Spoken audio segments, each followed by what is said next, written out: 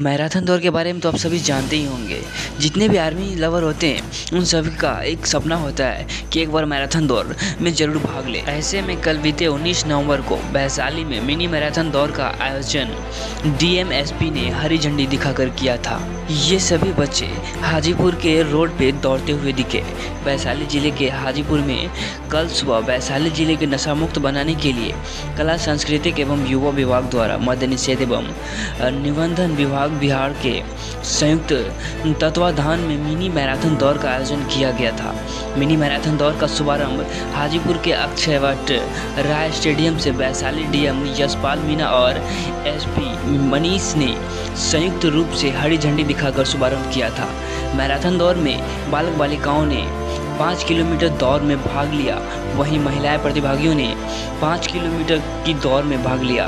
पुरुष वर्ग के दर्जनों प्रतिभागियों ने 10 किलोमीटर दौड़ में भाग लिया। मिनी मैराथन दौड़ में वैशाली जिलाधिकारी यशपाल मीना समेत अन्य पदाधिकारी ने भी रोड पर दौड़ते हुए दिखे। वैशाली डीएम यशपाल के साथ साथ उनके पीछे उनका काफिला भी नज़र आए आप देख सकते हो उनके साथ साथ जितने भी अधिकारी थे, सभी ने इस मैराथन दौड़ में भाग लिया था और साथ साथ उनकी गाड़ियों की काफिला पीछे से आती हुई नज़र आ रही है।